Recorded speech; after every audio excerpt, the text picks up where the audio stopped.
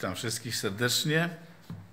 Sporo naszych braci i sióstr jest w domach, choruje, ale to nie przeszkadza nam dzisiaj być na tym miejscu, tym, którzy są w stanie, aby oddawać Bogu chwałę, aby się modlić. Ostatnio sobie tak przeglądam książkę na temat duchowych przebudzeń i mogę dostrzec tak bardzo mocno, bardzo wyraźnie, kiedy czasami ludzie latami się modlą, nie ustają, są, że tak powiem, wierni w modlitwie. Gdzieś tam Bóg w pewnym momencie kogoś porusza i coś nadzwyczajnego czyni. Drodzy, dlatego też zachęcam, przypominam, wzywam, poświęćcie przynajmniej raz w miesiącu, we wtorek, specjalnie czas aby być tutaj, aby wołać do Boga, aby się modlić, aby y, tak w tym duchowym znaczeniu kruszyć te diabelskie warownie w sercach, umysłach ludzi, wśród których żyjemy. Powiem Wam, bez modlitwy Kościół nie zrobi ani kroku. Bez modlitwy dajemy takie świadectwo sami sobie, że my tak naprawdę chyba Boga nie potrzebujemy. Bo modlitwa świadczy o tym, że bez Jego mocy, bez Jego łaski nie damy rady. E, każde duchowe przebudzenie, nawiedzenie rozpoczynało się od tego, że ktoś lub grupa ludzi wołali do Boga dniami i nocami, a później działo się, działy się rzeczy, rzeczy ponadnaturalne. I w Biblii także możemy to dostrzec, że kiedy ludzie się modlą, Bóg daje zwycięstwo. Bóg syła zwycięstwo, daje błogosławieństwo.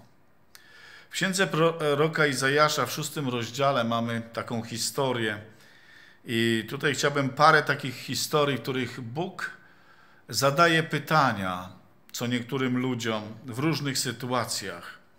I czytamy tutaj tak, w szóstym rozdziale proroka Izajasza. W roku, od pierwszego wiersza, w roku śmierci króla Uzjasza zobaczyłem Pana Siedział on na tronie wysokim i podniesionym, a brzeg jego szaty wypełniał świątynię. Wokół niego stały serafy. Każdy z nich miał sześć skrzydeł, dwoma zakrywał swoją twarz, dwoma okrywał nogi, a na dwóch latał. I wołali do siebie nawzajem: Święty, święty, święty. Jest Pan zastępów. Cała ziemia jest pełna Jego chwały. Na ten potężny głos zatrzęsły się progi w posadach, a przybytek napełnił się dymem. Powiedziałem, biada mi, zginąłem, bo jestem człowiekiem nieczystych warg i mieszkam pośród ludu nieczystych warg. A moje oczy widziały króla Pana zastępów. Wtedy przyleciał do mnie jeden z serafów, w ręku trzymał rozżarzony węgielek, który szczypcami wziął z ołtarza, dotknął nim moich ust i powiedział: Oto dotknęło to Twoich warg. Usunięta jest Twoja wina, Twój grzech został zakryty. Wówczas usłyszałem głos Pana. Pytał: Kogo poślę? Kto nam pójdzie? Odpowiedziałem: Oto jestem, poślij mnie. Drodzy, myślę, że jak czytamy Biblię, to większość z nas doskonale zna tą historię i to wydarzenie. Ale nie sądzę, żeby Izajasz otrzymał widzenie tak, kiedy sobie gdzieś tam szedł. Czy kiedy był zajęty innymi sprawami. Tak myślę, że Izajasz modlił się do Boga w tym czasie. To mi przypomina tak, jak Piotr wyszedł sobie na dach, tak? E, kiedy był tego e, garbarza, wyszedł na dach i modlił się, i oto przyszło widzenie od Pana. I oto sądzę, że Izajasz mógł modlić się w tym czasie. E, poszedł sobie, aby mieć społeczność z Bogiem, aby uwielbić Boga, i oto Pan dał mu widzenie swojej chwały. Często jako ludzie chcemy coś zobaczyć ekstra, coś wielkiego. Ale drodzy, nie da się tego zobaczyć o tak, kiedy jesteśmy w pośpiechu zajęci różnymi sprawami. Nie da się.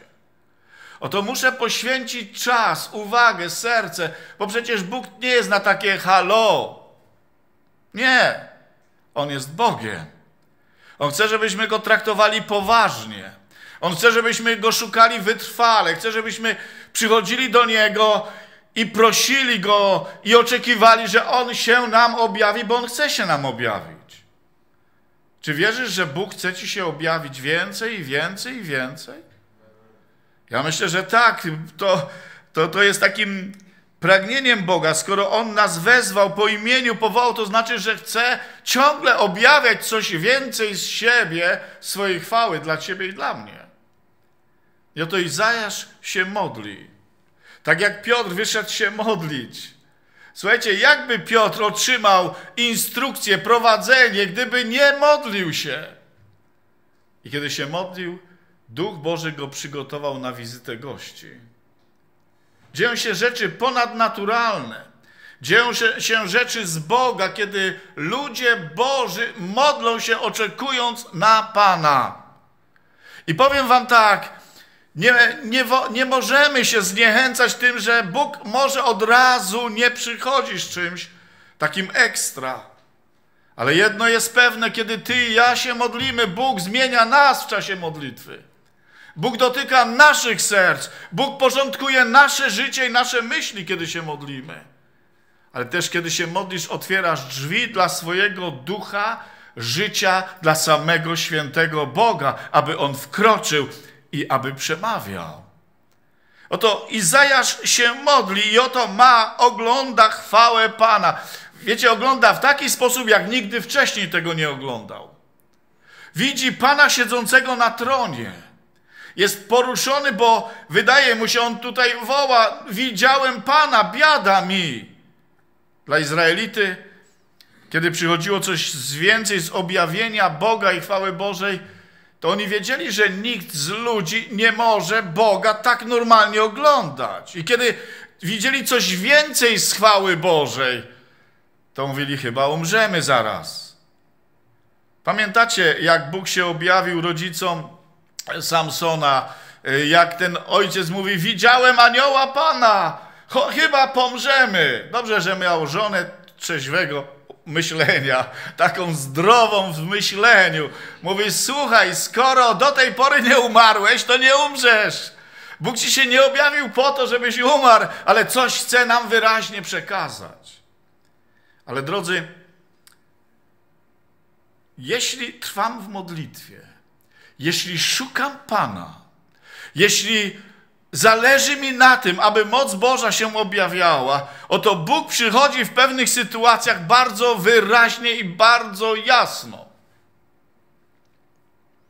I oto widzi coś, czego nigdy wcześniej z chwały, wielkości i świętości Boga. Widzi to, co jest przed tronem Bożym. Ci serafowie to są płonący, bo seraf oznacza płonący widzi tych płonących aniołów, którzy są wokół tronu Pana i którzy ustawicznie wołają: Święty, święty, święty. To jest coś niesamowitego. Ale zwróćcie uwagę, że kiedy ty i ja modlimy się, kiedy modlimy się autentycznie szukając Bożej obecności, nie dla samej modlitwy się modlimy no, zaliczyłem modlitwę. No, w końcu się pomodliłem, uspokoiłem trochę moje sumienie. Nie! Modlę się, aby dotknąć się tronu Bożego, aby dotknąć się i usłyszeć Pana, co chce mi powiedzieć. Amen? Ja nie chcę się modlić i spędzać godzin bez, jakby nie oczekując niczego. Właśnie modlę się często w desperacji modlę się z wołaniem: Boże, jeśli nie pomożesz, nie dam rady, nie zrobię kroku, ale Boże, liczę na Ciebie. I Bóg słyszy. I Bóg słyszy i Bóg odpowiada, drodzy. Pamiętam, jak w Ustroniu byłem pastorem, kiedy zobaczyłem w amfiteatrze takie. Tam był taki festiwal, nie nasz, religijny festiwal. I pamiętam, jak poszedłem tam zobaczyć, był taki, nawet taka sytuacja, że oni chcieli, żebym ja też tam jako pastor Kościoła Zielonoświątkowego był i mówią, dajemy ci pięć minut. Ja mówię, no 5 minut to... Ale nie to. Usiadłem tam i tam zobaczyłem takie, takie wielki, wielkie zmieszanie rzeczy świętych i nie. I to mnie tak dotknęło. Pamiętam, jak wróciłem do mieszkania, do domu, uklęknąło i mówiłem, Boże, daj nam zrobić coś naszego. Daj nam zrobić taki festiwal, abyśmy mogli głosić Ewangelię. Boże, daj nam, aby tam było zwiastowane czyste Boże Słowo. I muszę wam powiedzieć, nie wiem ile upłynęło, rok, dwa, i rozpoczęliśmy chyba przez 11 lat cyklicznie, rok w rok robić festiwale dobrej nowiny. Z marszem dla Jezusa przez środek miasta, idąc od zboru Betel. Wiecie, to było coś niesamowitego. No, chyba na pierwszym marszu, nie wiem, z 800 do 1000 ludzi szło w pochodzie z chorągwiami, transparentami, y, kolorowo, śpiewając i uwielbiając Boga. Nikt wtedy nie mówił o innych marszach. Po prostu chcieliśmy zamanifestować, kim jest Jezus. I ogłaszaliśmy Jezusa jako Pana, jako Króla. I to było niesamowite. Wiecie, kiedy modlimy się tak bez jakiegoś oczekiwania, no to nic nie otrzymasz. Izajasz się modli, może szuka Boga, może jest pragnący Boga i nie wie, co za chwilę się wydarzy, że Bóg wkroczy w jego modlitwę i zmieni absolutnie wszystko w jego życiu. Bo to był moment powołania go na proroka.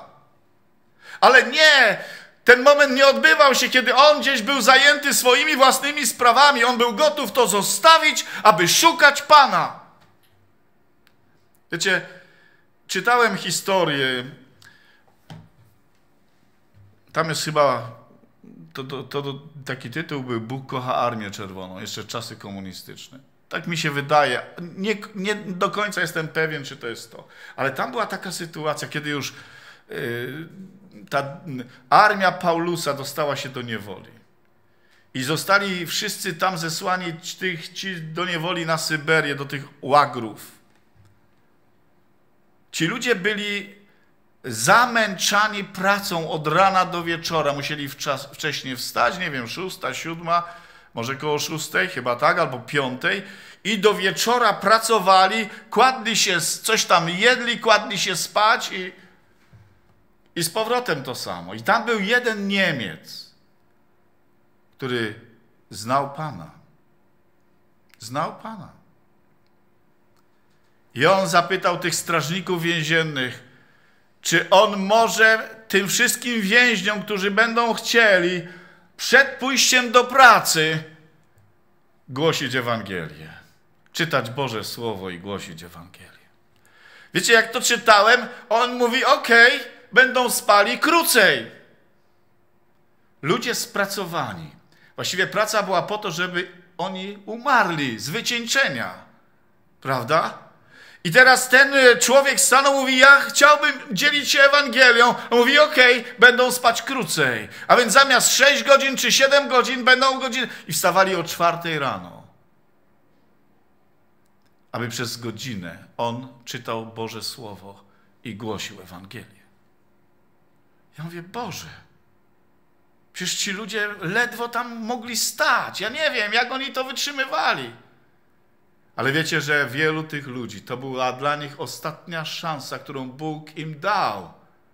Bo słysząc Ewangelię, ci, tych wielu żołnierzy wziętych do niewoli niemieckich mogło pokutować, mogło się nawrócić, mogło uznać Jezusa Panem, zanim umarli. Z tej 100-tysięcznej armii bodajże do Niemiec wróciło około 5 tysięcy ludzi po wojnie. Wszyscy pomarli. Reszta pomarła. Ja mówię, jak czasami mnie jest ciężko mobilizować się do modlitwy. Jak mnie jest ciężko znaleźć czas. Ale jeśli jestem głodny i pragnący, żeby Bóg działał w moim życiu i działał przez moje życie, ja muszę się modlić. Ja muszę szukać Pana dla siebie, dla zboru, dla rodziny, dla innych. Amen? Tego nikt za mnie, za ciebie nie zrobi, drodzy.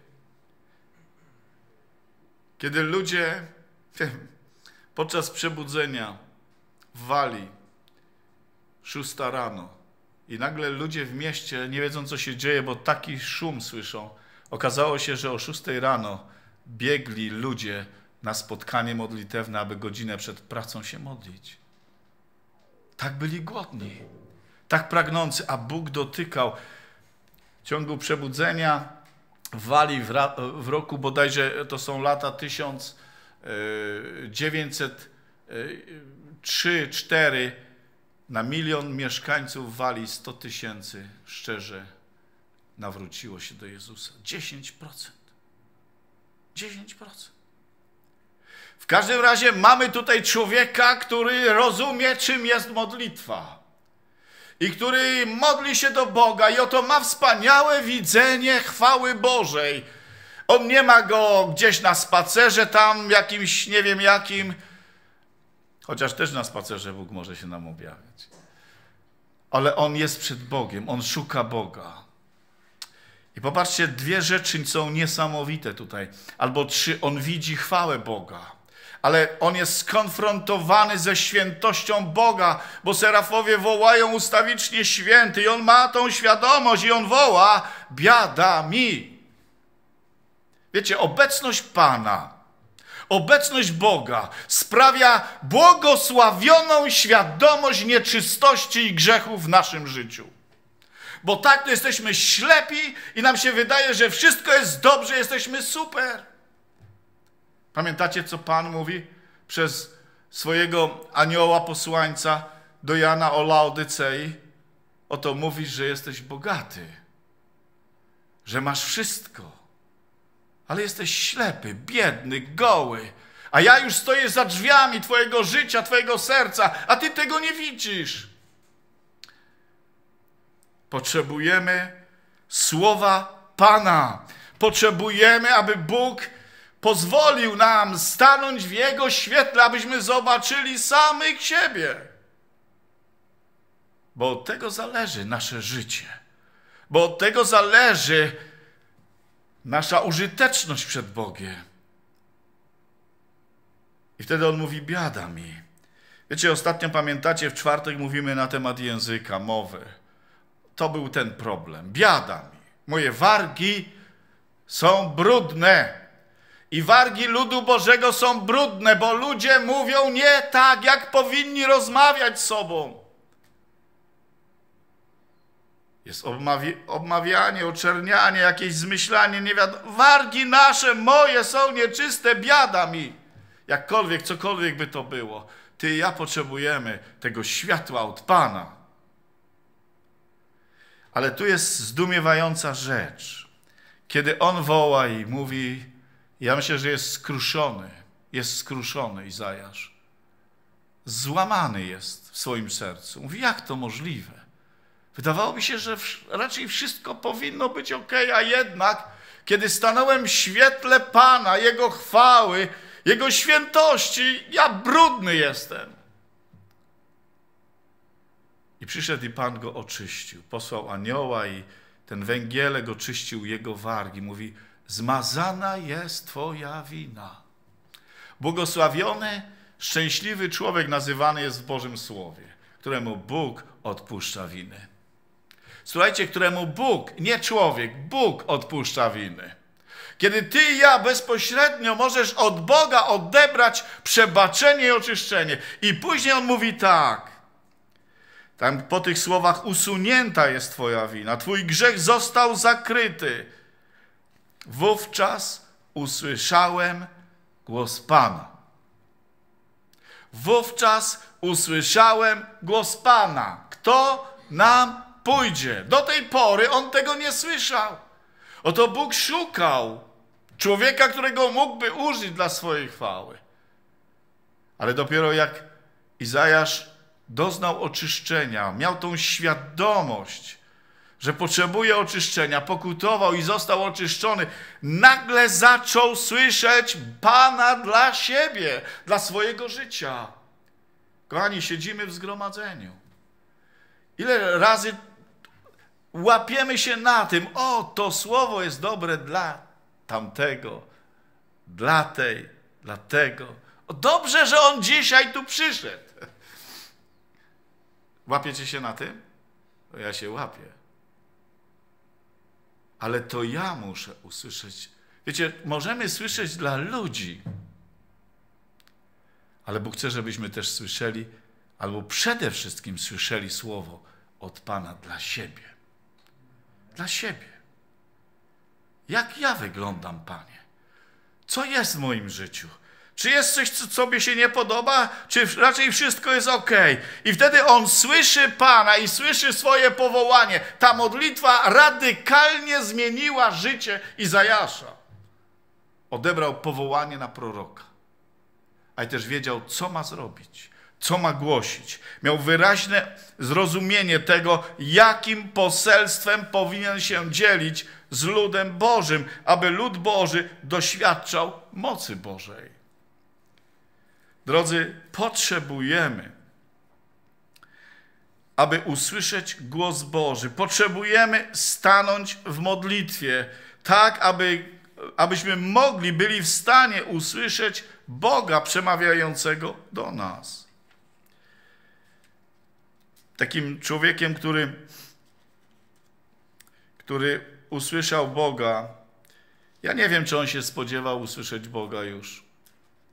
To już był człowiek, miał 80 lat. Najlepsze lata za nim. On chciał coś dla Boga zrobić, kiedy miał czterdziestkę. I był gotów wymachiwać mieczem i robić rewolucję. Wiecie, to jest to, co cała taka nasza cielesność. Oto jestem gotów coś zrobić, a Pan mówi: Dobrze, dobrze, tylko nie w swojej mocy, ale w mojej mocy. To dobrze, że masz pragnienia, aby mi służyć. To jest właściwe, ale chcę, żebyś działał w mojej mocy i w mojej mądrości. Wiecie, wiele aktywności chrześcijan to jest z ciała bo ja. A Pan mówi: Nie, nie, nie, nie ty masz być widoczny. Ja chcę być widoczny przez ciebie w tym, co robisz. Ja nie wiem, czy Mojżesz spodziewał się jeszcze czegoś w swoim życiu. Nie wiem. Wiecie, 40 lat na dworze faraona. Możliwe, że miał zostać następcą faraona. Wykształcony, jak to mówi Słowo Boże, dzielny w mowie, posługujący się orężem, ale teraz już jest po 40 latach na pustyni. Pasie owce swojego teścia. Taka, wiecie, codzienna. No nigdy nie pasłem, nie wiem. Czy to tak ma jakieś, no jakieś uroki musi mieć, ale na pustyni. W każdym razie Oto Bóg widzi serce Mojżesza. To też jest dla nas zachęcające, że mamy pragnienie służyć Bogu. Coś Bóg mówi nie w ten sposób i jesteśmy zatrzymani, bo Bóg musi popracować nad naszym charakterem. A później daje nam szansę. I znowu Mojżesz ma spotkanie z Bogiem. Kochani, życzę nam takich spotkań takiej szczególnej obecności Pana. Ja wiem, że Jezus jest tutaj.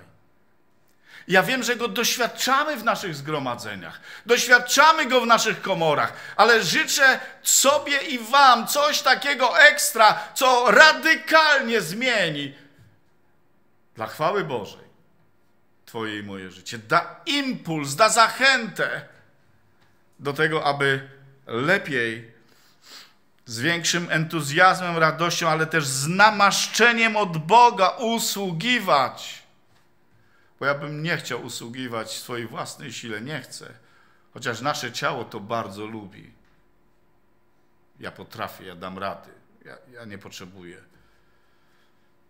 I tu jest napisane w drugiej księdze Mojżeszowej, czwartym rozdziale, kiedy, kiedy yy, Mojżesz widzi ten krzew gorejący i on się nie spala, i on podchodzi do tego krzewu i, i jest zaskoczony tym, co, co się dzieje. Mówi: Muszę zobaczyć to dziwne zjawisko, i słyszy Boga, który do niego mówi. Mojżeszu, Mojżeszu, nie zbliżaj się. Ziemia, na której stoisz, jest święta. Zdejmij swoje obuwie. I wtedy Pan objawia Mojżeszowi, co jest w jego sercu, w sercu Pana dla Mojżesza. I to jest taka zadziwiająca rzecz. On był pasterzem. Pasterz ma laskę. I Bóg go pyta, cóż to masz, czwarty rozdział, wiersz drugi, cóż to masz w swojej ręce? Laskę odparł Mojżesz. Wiecie, że on, ta laska, ta laska zamieniła się w węże, ta laska jak ją włożył do wody, on zamieniła wodę w krew. Ale chcę zwrócić uwagę na coś innego. Co masz w swoim ręku, Mojżeszu? On mówi, Boże, mam laskę, to jest, to jest e, narzędzie mojej pracy. Właściwie ona jest ściśle związana z tym, kim jestem i co robię. Pracuję na chleb w ten sposób. A Bóg mówi, daj mi to. Daj mi to.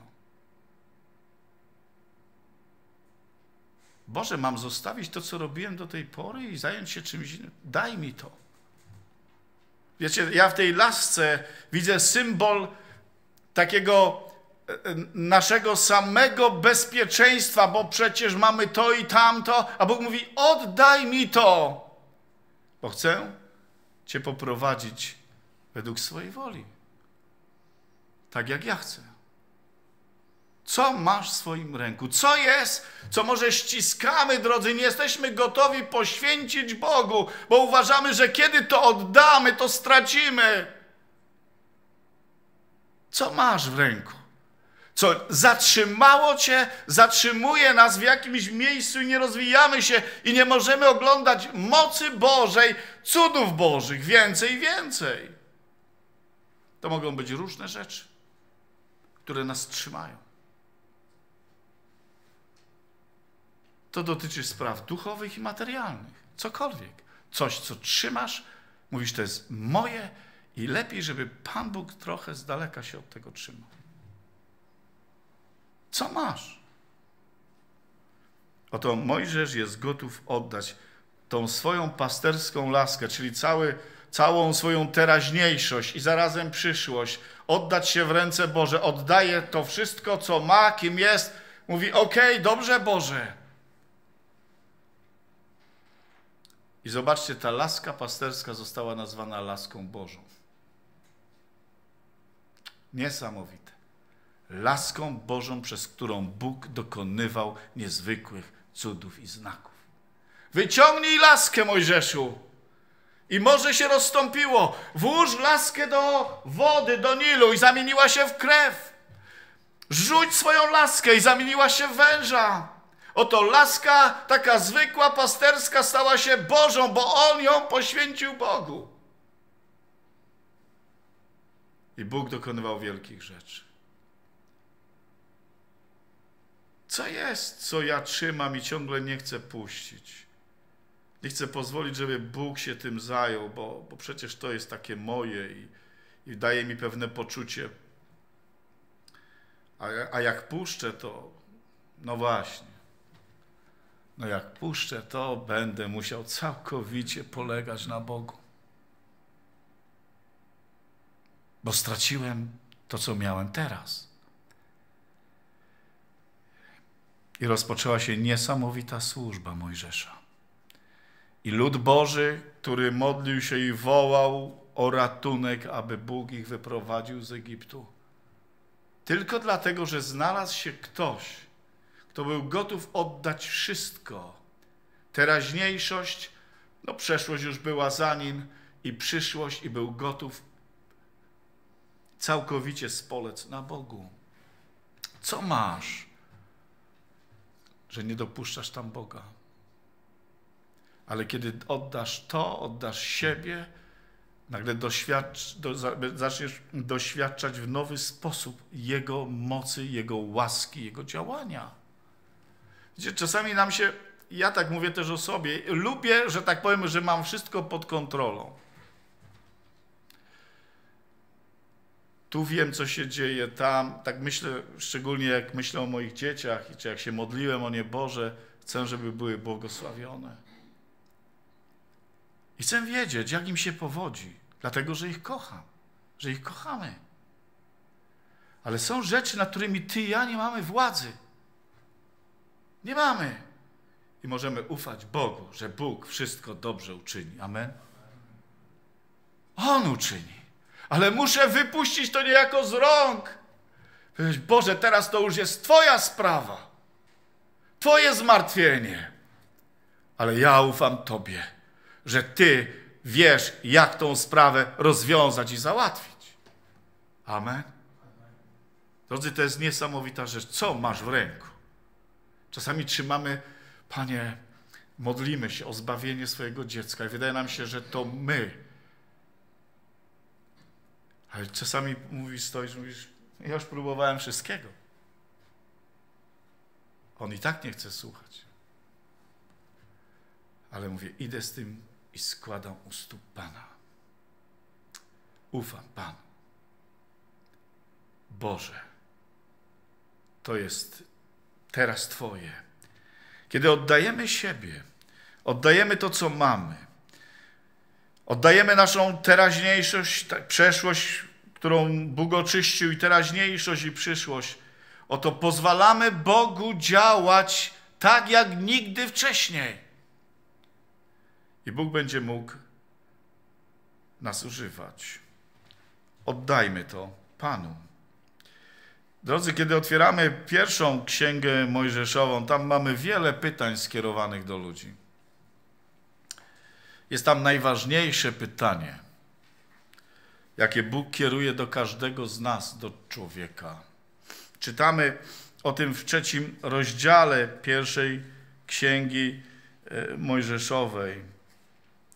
Kiedy Adam i Ewa przekroczyli Boże przykazanie: Nie wolno wam jeść z tego drzewa poznania dobra i zła. I wiecie, co się stało. Oto udało się przeciwnikowi skierować ich na drogę nieposłuszeństwa.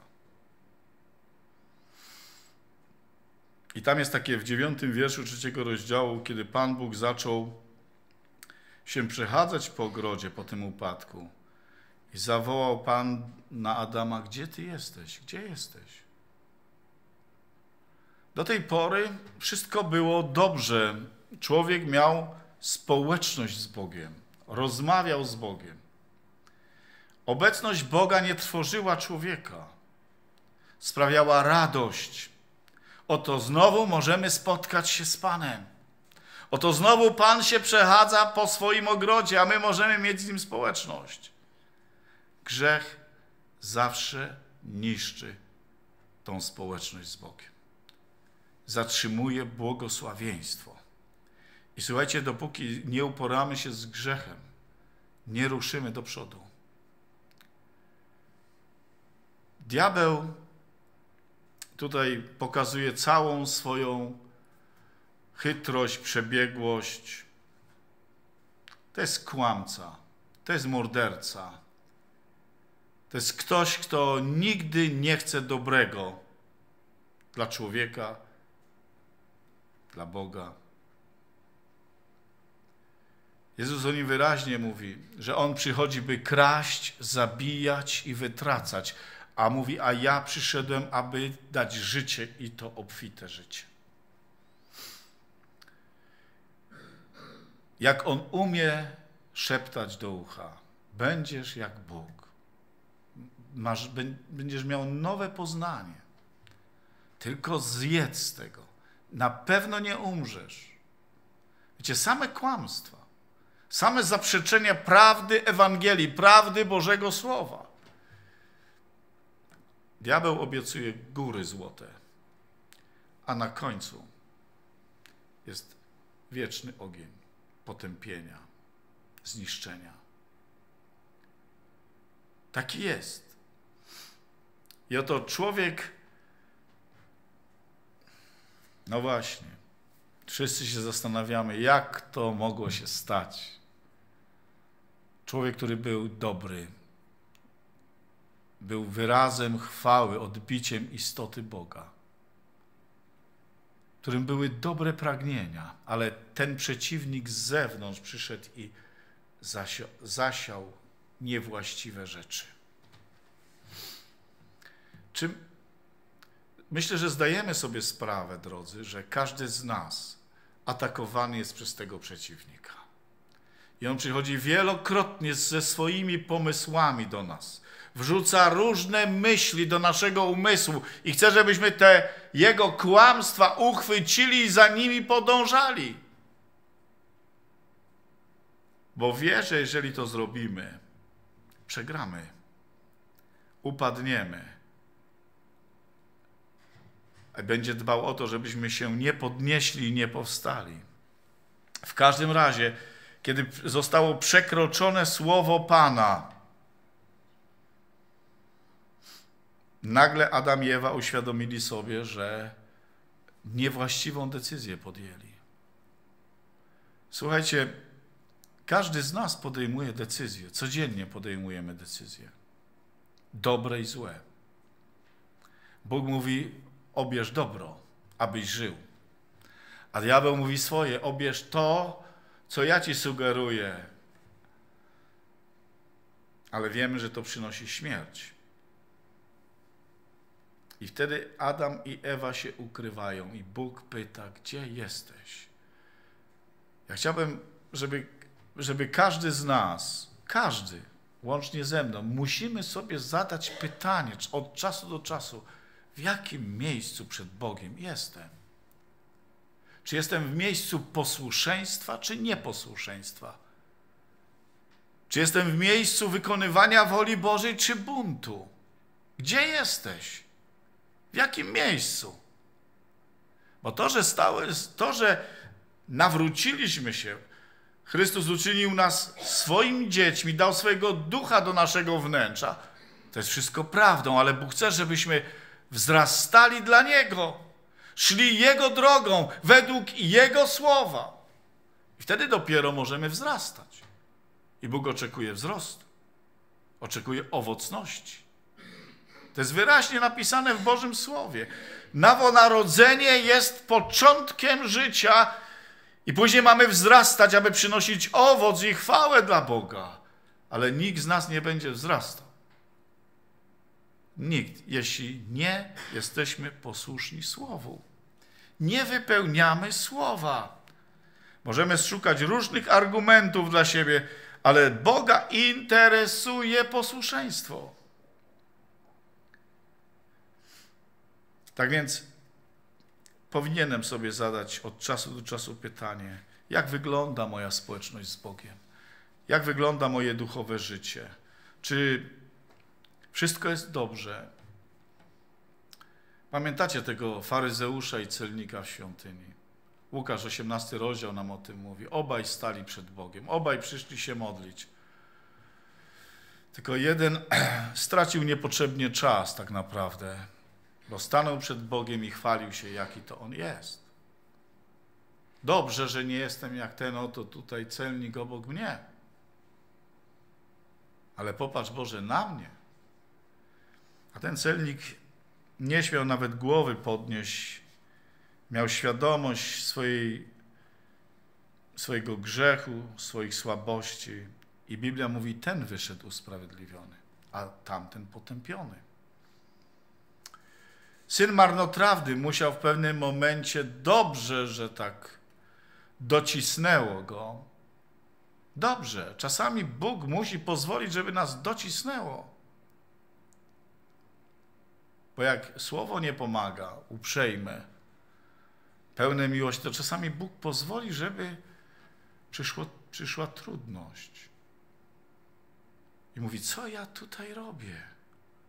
W domu mojego ojca słudzy mają się dobrze. Co ja tu robię? Wrócę do ojca. Wyznam swój grzech Niech On uczyni mnie nawet swoim sługą, ale wolę już tam być niż tutaj przy tych świniach. I wiemy, jak ta historia się skończyła. Kiedy człowiek ma złamane, skruszone serce, Bóg okazuje łaskę.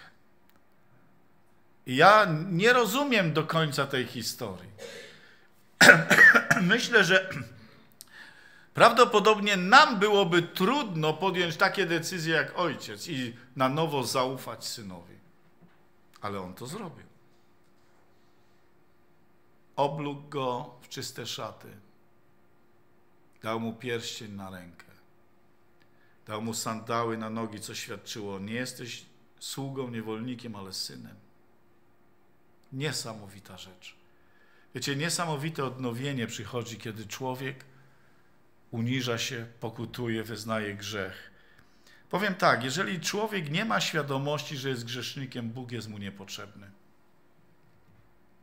Bo Chrystus umarł za grzeszników, nie za sprawiedliwych. Oczywiście, że nie ma ani jednego sprawiedliwego, ale wielu ludzi uważa się za sprawiedliwych. Jeśli przychodzisz do Boga i właściwie nie wiesz, czego masz pokutować, czy jest coś niewłaściwego w Twoim życiu, to ciągle jeszcze powinieneś bardziej zbliżyć się do Jego świętości, aby zobaczyć, że musisz wołać i prosić Boga o oczyszczenie, o przebaczenie. Zgodzicie się ze mną? Nie ma innej możliwości, słuchajcie. No po to się nawracam, żeby Bóg mi przebaczył, oczyścił uwolnił od grzechów. To jest właśnie nawrócenie. I wtedy dostępujesz łaski i mocy Bożej do nowego życia. Ale bez upamiętania. Nie ma odnowienia. Nie ma nowego życia. Jan Chrzciciel miał taką niesamowitą służbę. Żadnego cudu nie uczynił. Ale kiedy głosił, tam była moc. I ludzie doświadczali świadomości swoich grzechów. Biblia mówi, cała ziemia nadjordańska przychodzili do Jana, wyznawali grzechy i dawali się chrzcić. Ale byli też inni ludzie którzy też przychodzili do Jana i też chcieli się dać ochrzcić, ale nie doświadczyli. Ciągle uważali, że oni nie są przecież tak źli. Chcieli się ochrzcić, ale to by im nic nie dało. Pamiętacie, jak Jan do nich mówi? Plemię żmijowe. Czy wy myślicie, czy wy myślicie, że ujdziecie przed nadchodzącym gniewem Bożym, jeśli nie będziecie szczerze pokutować ze swoich grzechów? To jest łaska. I modlę się, aby Bóg działał w naszych sercach tak jak na początku. To jest łaska, kiedy człowiek może i ma, dochodzi do tej świadomości, że potrzebuje Bożego przebaczenia, oczyszczenia, uwolnienia od tego brudu, od tego grzechu. A to może dać tylko Bóg i moc do zwycięskiego życia może dać tylko Jezus Chrystus. Tylko. Będziemy się modlić. Będziemy wzywać Pana. Drodzy, zachęcam siebie, Was. Miejmy czas poświęcony w naszych domach, też osobisty, aby być przed Bogiem. Ale też zachęcam Was, przychodźmy, jeśli. No, szukajmy tej możliwości, choćby raz w miesiącu, być tu na modlitwie, aby wołać do Boga. Aby z czegoś zrezygnować, po to, aby być na modlitwie i szukać Boga. A jeśli już się nie da, to miej, pilnuj swój, swojego czasu w domu, aby szukać Pana, bo chodzi o to, abyśmy doświadczali Jego chwały, Jego realności, Jego działania. Coś, co będzie sprawiać, że i ja się zbliżę do Boga, wtedy Bóg zbliża się do mnie, ale też Bóg będzie mógł używać nas tak jak nigdy wcześniej. Będzie mógł posługiwać się nami tak jak nigdy wcześniej. Ja chciałbym coś więcej i więcej doświadczać z tego Bożego działania w swoim własnym życiu. Chcemy powstać, aby się modlić. Uwielbialiśmy Pana, wywyższaliśmy Jego imię. Jeśli masz głód i pragnienie Boga, chciej Mu o tym powiedzieć. Czy chcesz coś więcej doświadczać z Jego obecności?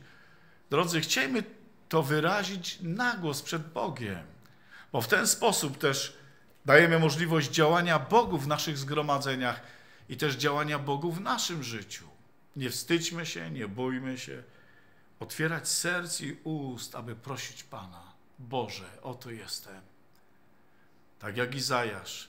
Albo Boże, masz tutaj, tak jak mówi Mojżesz, oddaję to, co mam, to, co trzymam, a Ty użyj jak uważasz, jak chcesz. Albo może powiesz, Panie, wybacz, gdzieś się pogubiłem. A Pan pyta, woła Cię, gdzie jesteś? Wybacz, Panie, proszę Cię, oczyś mnie. Albo po prostu mówisz, Boże, tak bardzo chcę słyszeć Ciebie. Słowo od Ciebie dla mnie. Twoje kierownictwo i prowadzenie. Boże, tak dziękujemy Ci za Ducha Świętego. Dziękujemy Ci za Twoje słowo. Dziękujemy Ci za Twoją obecność. Dziękujemy Ci, że Ty przemawiasz i ciągle chcesz przemawiać do swojego kościoła i do nas indywidualnie. Boże, modlimy się o to, aby nas nie ominęły rzeczy wielkie, które są od Ciebie przygotowane. Tylko dlatego, że nie ma z naszej strony szukania Ciebie, zainteresowania tym, jaka jest Twoja wola. Tak błogosławię Twoje imię, błogosławię Twój Kościół na tym miejscu, naszych braci i siostry, którzy tutaj są i ci, którzy są w domach z powodu słabości ciała. Panie, błogosławimy się nawzajem. Wiemy, że masz dobre rzeczy dla nas. Wiemy, że Twoje myśli i pragnienia są dobre względem nas. I chcemy, Panie, być tymi, którzy chodzą z chwały chwałę, z mocy w moc. Chodzą w Twoim zwycięstwie, w Twoim Duchu Świętym. Panie, daj nam ten głód i to pragnienie. Więcej, więcej z Twojej mocy, z mocy Ducha Świętego. W imieniu Jezusa to się modlę dla nas, dla samego siebie. Przyjdź swojej mocy i sile Duchu Święty. Przyjdź i działaj w swoim Kościele i przez ten zbór, Ojcze. Chwała niech będzie imieniowi Twojemu. Amen.